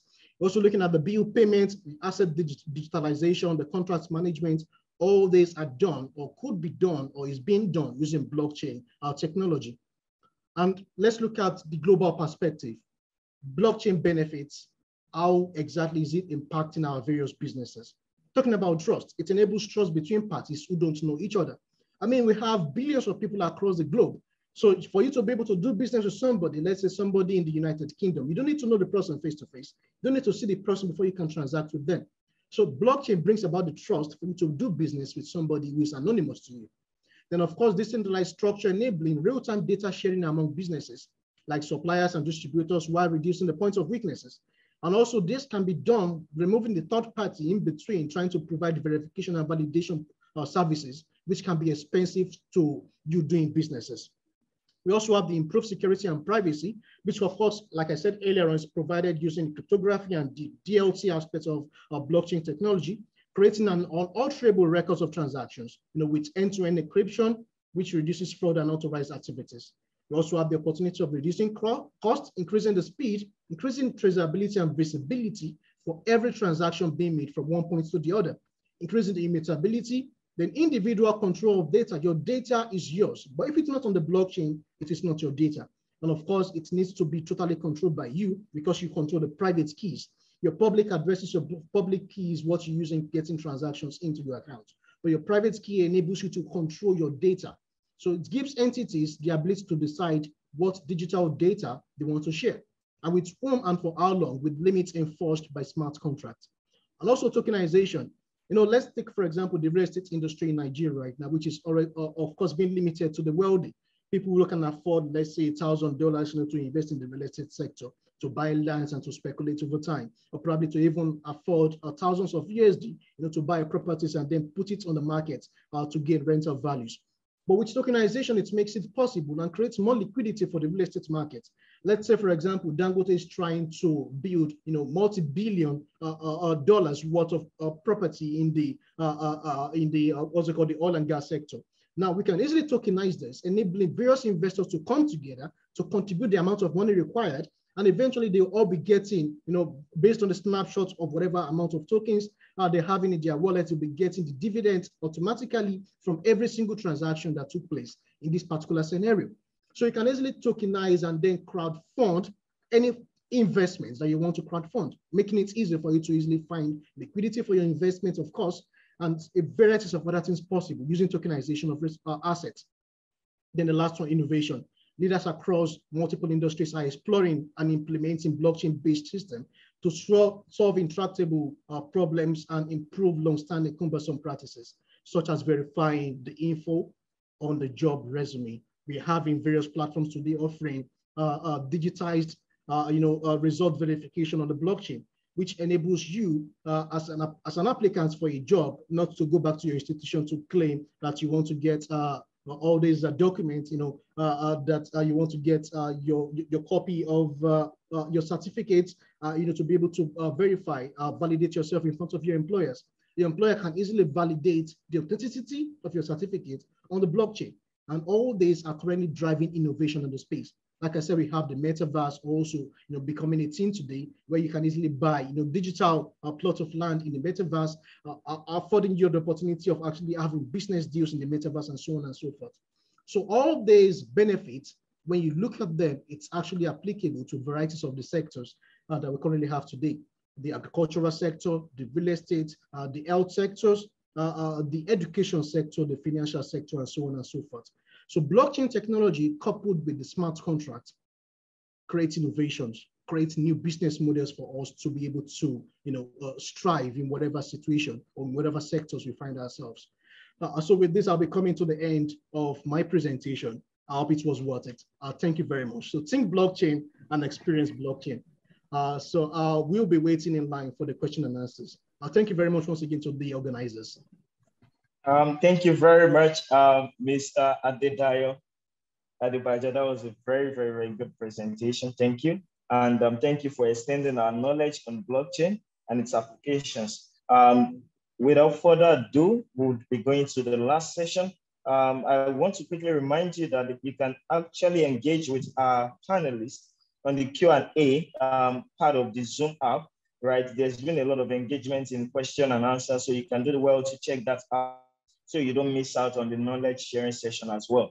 So um, we go um, to the last session, which you know is simply about um, the regulatory and um, the legal um, landscape, right, of, of blockchain, fintech, and smart contracts. And with this, we have uh, Mr. Max, and we'll be taking over this. Mr. Max, you have the floor. Thank you. Yeah, thank you very much. I hope you can hear me. I'll just try to share my screen. Yeah, yes, we can, sir. Okay. Um, can you see my screen as well? Sorry, let me get into present uh, presentation mode. Uh,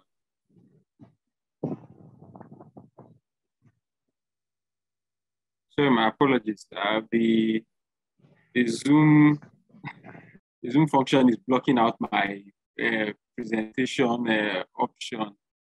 Ah, where do I get it? A slideshow.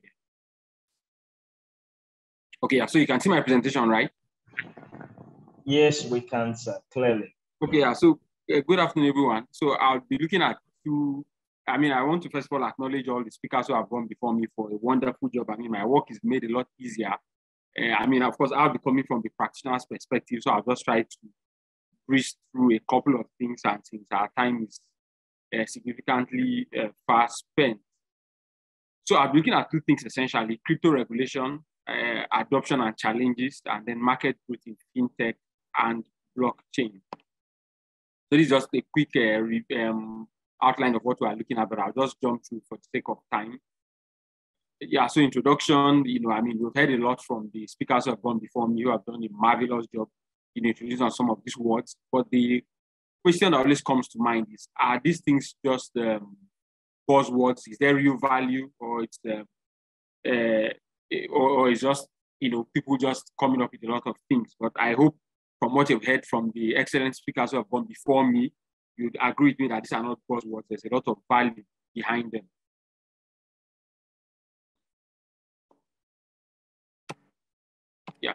So crypto regulation, I'll just start with regulation and look at a few things.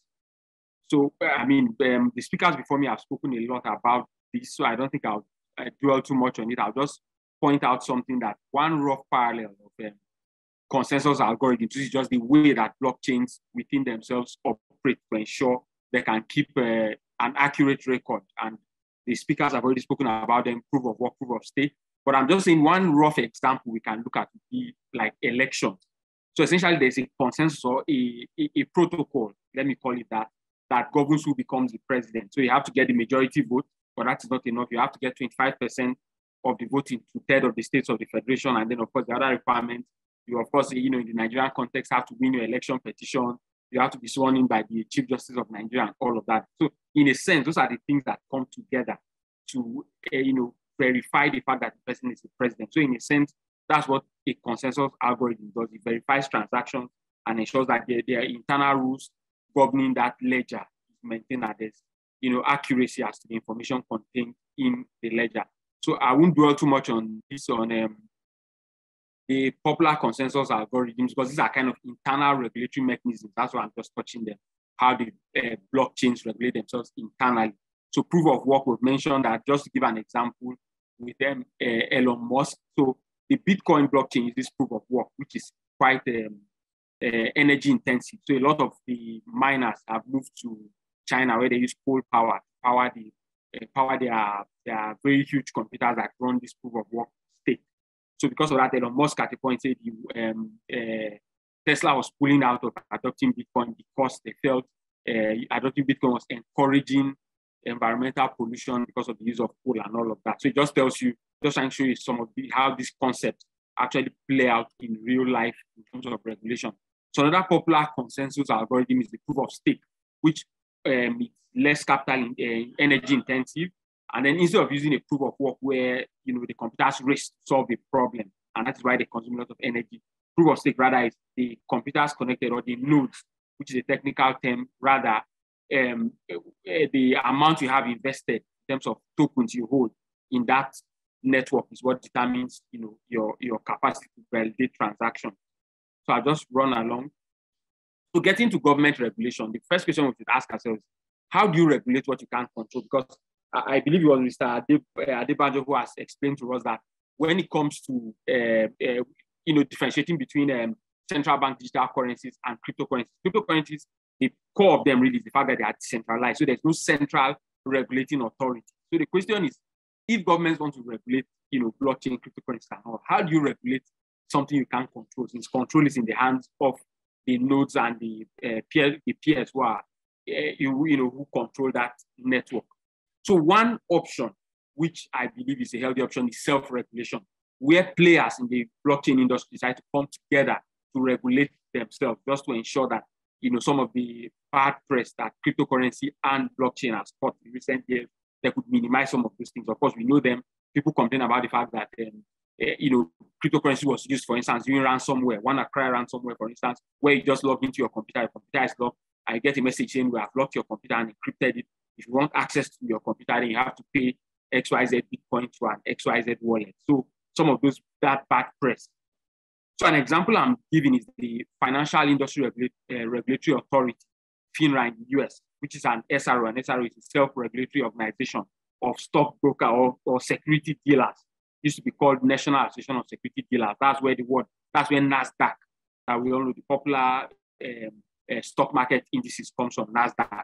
So in Nigeria, for instance, unfortunately, my brother, Senator Hen, is not here. He would have told us more about SiBAN. He's the president of SiBAN, stakeholders in Blockchain Technology Association of Nigeria. So they are doing some work in terms of self-regulation, ensuring that within the industry themselves, there's some measure of regulation and um, you avoid government clamping down with you know too hard regulations because if the industry itself is allowed to regulate itself, then they'll be able to provide regulations that are nuanced to capture some of the uh, some of the peculiarities of the industry. But government just come to sledgehammer like we already have, uh, you know, as it were now. So one thing I want us to look back at now is to zoom out a little and look at conventional financial regulation just to understand because I know the CBN has got a lot of flack in terms of uh, its approach towards regulating particular cryptocurrencies and all, but it's good we have some understanding. And, and I'm glad that a few of the speakers already hinted at some of these things. So the thing is that uh, money essentially is a fiction created by the state to facilitate the exchange of value.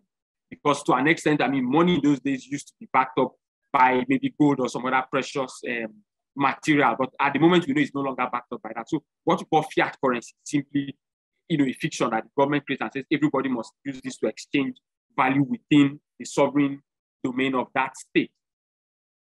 So regulation of the financial sector is necessary to ensure is stability and confidence because when it comes to money, stability and confidence is what really drives. Once people lose confidence in a currency, then that currency is in trouble.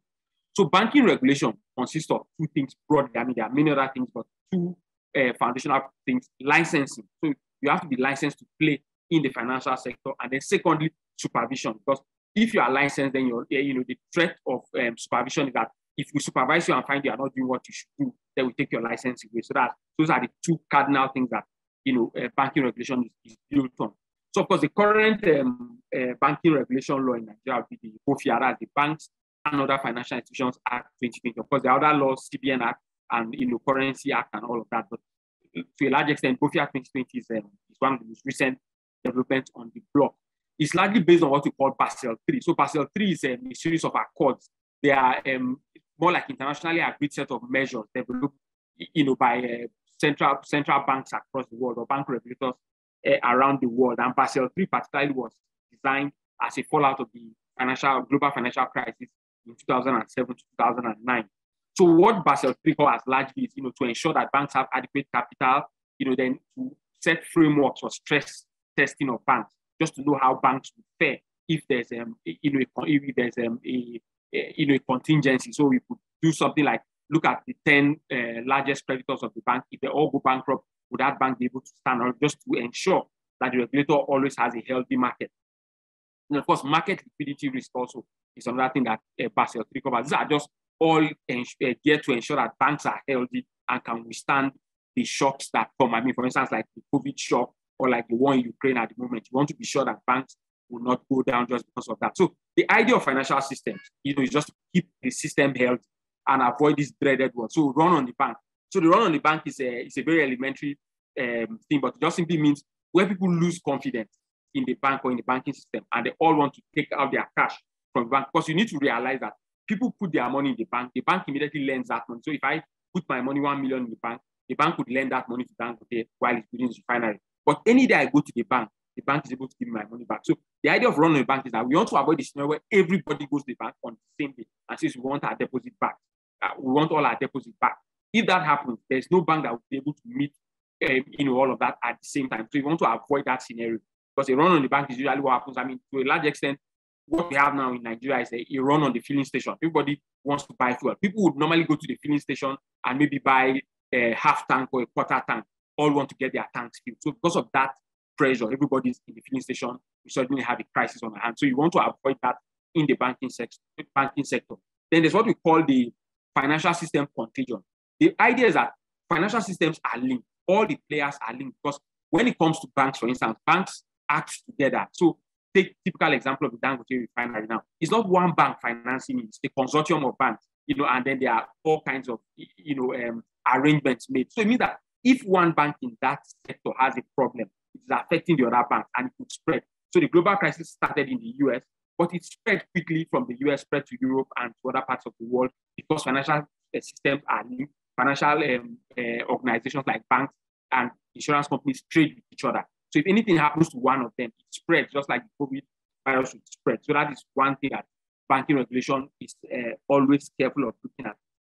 So what is the role of innovation in causing the global, or what, what was the role sorry, of innovation in causing the global financial crisis? So amongst many other causes, one of the causes of the global financial crisis was that there was innovative new products created by uh, banks and you know, some insurance companies that allowed them to to extend mortgages, very risky mortgages to people who ordinarily would not have gotten mortgages, you know, before this time. So what happened was that, I mean, it's it's a long story, but the whole idea was that one of the key things since I recorded called a credit default swap, which is kind of an insurance company that says if the person who are giving this mortgage fails, then the insurance company would pay, you know, for his failure to settle or pay up, you know, on his mortgage payment. So that triggered the crisis. So what happened essentially was that these were innovative products. People thought about how can we extend mortgage to people who have been unreached by mortgages.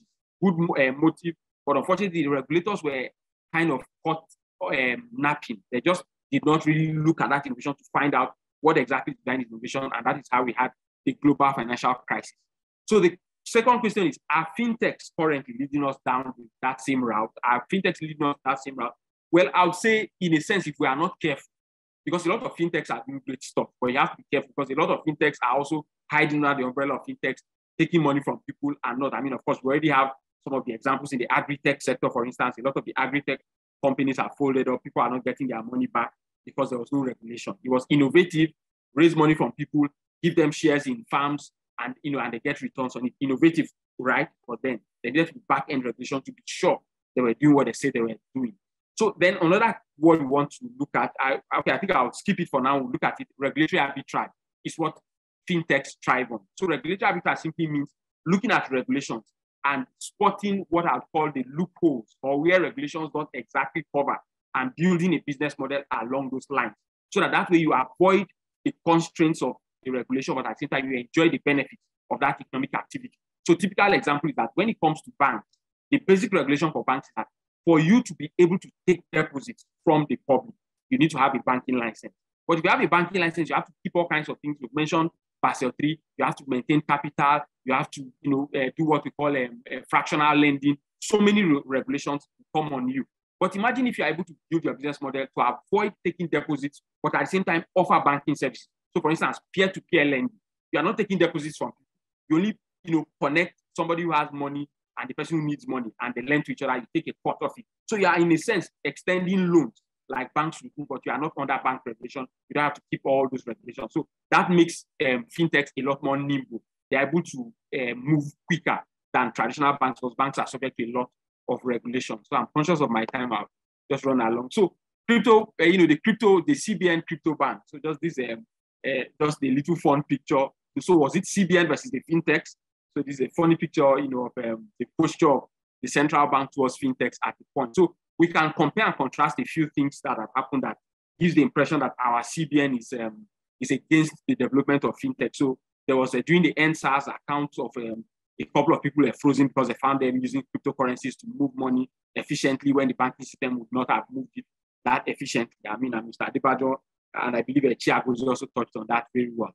So freezing of account of wealth management fintech, so including RiseVest and Rest. We'll talk about that shortly. But contrast the fact that the CBN has created, uh, you know, the central bank digital currency, that's the e-Naira, which is not a bad initiative, even though, I mean, I think there are still a lot of things that should have been done.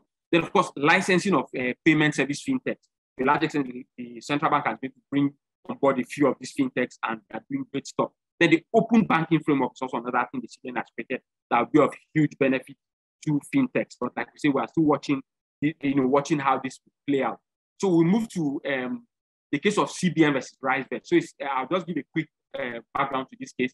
What happened was that the CBN governor acting under section 97.3 of the BOFIA 2020, um, uh, you know, of course, remember the CBN had passed a circular earlier uh, banning, you know, in a sense, cryptocurrency or trading or dealing in cryptocurrency and are directing banks to shut down all bank accounts of people who trade in cryptocurrency. So um, the CBN got the order from the Federal High Court freezing the account of the listed uh, fintechs. You can see there, RiseVest, Bamboo, Chaka, Trove, CTL, and, and, and all of that. But what happened was that the, um, the, the these fintechs were able to get um, to, to go back to the court, bring an application, and in ruling, what the judge said is very important is that the court discharged the order, and the court found that because he held that cryptocurrency is not illegal in Nigeria, because the CBN cannot, by circular, create criminal offenses. So that's very important to know that. So far as Nigeria is concerned, and by the ruling of the court, cryptocurrencies are not illegal.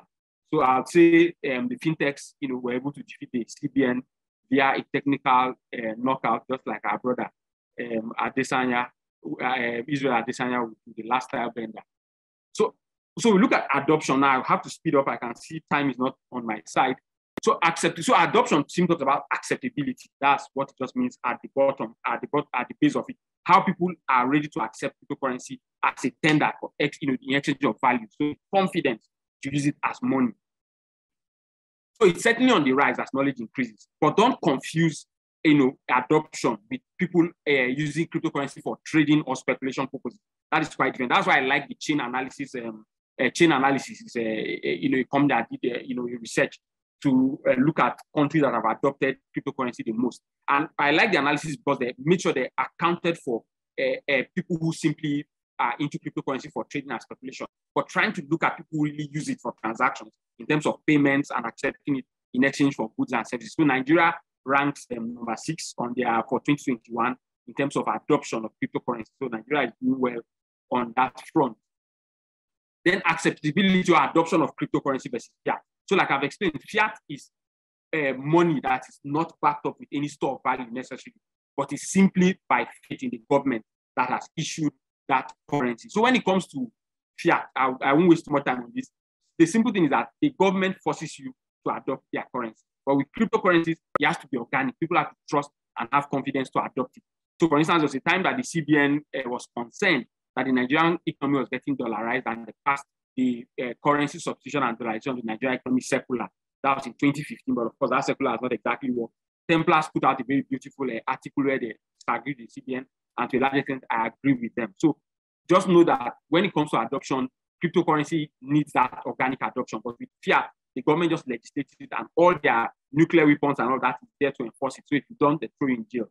If you refuse to accept, eh, you know, or adopt the currency of the nation, then you will not be able to live in that nation.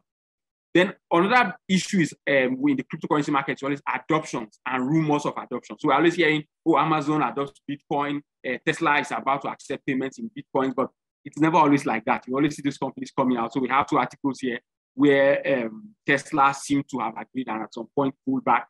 Same thing with Amazon as well, even though we recently had Amazon wants to. But every time you hear that news, you know, people get excited and then you see the crypto markets jumping up. So of course, another thing that has also created a, a hike in the crypto market currently is the uh, Russia-Ukraine war, because a lot of um, uh, people are you know finding it easier to use cryptocurrency to transact as a lot of infrastructure is um, destroyed in Ukraine and banks are not able to function properly. So people have to fall back on cryptocurrency. So that's one advantage, just like Mr. Adebajo mentioned, the fact that there's no central authority, so there's no single point of failure. So if, even if the bank goes down, Bitcoin is still working because all the nodes, even if some nodes go down, once other nodes are up and running, the currency is still running. So that's another advantage of cryptocurrency. So what are the challenges with cryptocurrencies? So legal and tax status, like I've said, the Nigerian law is clear. Cryptocurrency is not illegal. It's not a crime to deal in cryptocurrency as far as um, the federal court is concerned. However, cryptocurrency just stays in that gray area. It's not illegal, it's not legal. So it's a little funny. And then another problem is how do you treat it for tax uh, purposes and how do you treat it for financial reporting purposes? So if your company is holding cryptocurrency, how do you reflect that in your book of account? So it's, it's a little tricky. You can't exactly call it cash since it's not legal tender. You can't call it a financial asset also because you know there are criteria that financial assets have to meet. So, but you could call it an intangible asset, which is the treatment that even the um, ACA seems to favor. And you could also call it an inventory. If you hold cryptocurrency to trade in the course of your normal business, then for trading purposes, then it means you can account for it in your books as inventory. Then another challenge that cryptocurrency has is anonymity or what's called pseudo anonymity. So most cryptocurrencies are not anonymous. People are just giving cryptocurrencies a bad name and make it look like oh cryptocurrencies are anonymous. In fact, they, they if we are talking about anonymity, cash, physical fiat cash, that is 1,000 naira notes or $100 bills, is actually the most anonymous kind of money you can find. Because if I use it and we meet in the dark alley on the exchange, there's no way to trace it back necessarily to me. But with cryptocurrencies, theoretically, it's possible trace backward. There are some cryptocurrencies that offer, you know, heightened anonym, uh, anonymity and were used, you know, um, during, for instance, ransomware attacks. So one major area, one challenge that cryptocurrency has issues of KYC, know your customer, and you know, uh, AML, that's anti-money laundering, and CFT, countering the financing of terrorism measures. So these are some of the things that um, self-regulatory organizations like SiBAN should work on. How do we ensure that we have some level of KYC within the sector so that you know we don't give it a bad name? So we quickly move on to the last part of my presentation, which is a uh, market growth in fintech and blockchain. So I mean, depending on what whose report you are looking at, I, I believe it was a Chiagozie gave us a report, 800 million raised by fintechs in Nigeria in 2021. I found another report that says $3 billion. You know, you can't really be sure, but when it comes to to uh, to uh, a lot of this is because the money is raised private, you know, to private equity and venture capital. And when it comes to private equity and venture capital, you are not always able to get full information. So that's why the records seem to be But the bottom line is that Nigerian fintechs are raising a lot of money. People are putting their trust in the innovation happening in Nigerian fintech sector, and that is why a lot of money is pouring in. So I've spoken about rise of fintech and shadow banks. I talked about regulatory arbitrage. So that's essentially how um, fintechs are able to rise and to offer. You know, we call them shadow banks because they are not licensed banks, but in a sense, because they have seen a loophole in, in regulations, they're able to use that to offer what would have been normally a normal banking service. So then funding of fintechs and private equity, we just mentioned that. So, I mean, essentially private equity and venture capital are non-public sources of funding for companies, especially startups. So it proves useful for fintech because fintechs don't have that regulatory structure to be able to go to the um, stock exchange and raise money from the public. So rather, they'll be able to raise through these informal sources, venture capitalists, angel investors, and all of that. So just to help us out with um, to uh, to uh, funding round nomenclature, you, because we hear it a lot. So you hear that um, a company has raised, you know, Paystack has raised their 200 million in Series B funding and all. So essentially, funding rounds are just structured according to what phase of the growth of the company they're coming. So pre-seed and seed stage will be funding that comes in when you are still at conception stage, you are still putting together your business plan and all that. Early stage would be typically when the company is still quite new. Mid stage would be, you know, that Series A. So if you hear Series B or Series C funding, it means the business has stabilized to a point that the mid stage of its growth. Then later stages would be maybe Series D and onward. Sometimes you hear as high as Series K funding, even though it's not very usual, but it just helps you to know at what stage that funding is coming into the company. So sometimes also where the same investor puts in more cash, call it a Series B1 or a Series C1, for instance. So just to help us with some of that nomenclature. So the Nigerian Startup Bill is another interesting innovation uh, at the moment that we should be tracking. The bill has just um, been sent by the presidency to the National Assembly for passage. So we are uh, eagerly await that. So three major challenges that the bill is looking to tackle would be the lack of enabling environment for fintechs, unclear regulatory framework like CBN just waking up with circular to uh, ban trading in cryptocurrencies, and inadequate local content support. So this is a tech about analysis of the three major uh, challenges that the startup bill is set to tackle. So I believe with this one, the startup bill is passed to have a, a more robust um, fintech space in Nigeria. So thank you. That comes brings me to the end of my presentation. Sorry, I overshot time a little bit, and I've been interested, and I'll be waiting for your questions. Thank you. All right, thank you very much, um, Mr. Max. That was a very detailed presentation on the legal and regulatory landscape for um, crypto and um, blockchain itself. Um, thank you very much. And, um, you know, we want to really thank all our panelists, you know, for, for staying um, this, this long. I want to believe this has been a very, very insightful session for everyone. And we'll just take a, a few questions. Most of the questions have been answered in the Q&A tab then, um, just the ones that haven't been answered. So um, the first question is, can you give some information about how coding works in smart contracts? Um, so any of our panelists can attempt this. Can you give some information on how coding works in smart contracts? Um, does anyone want to attempt this?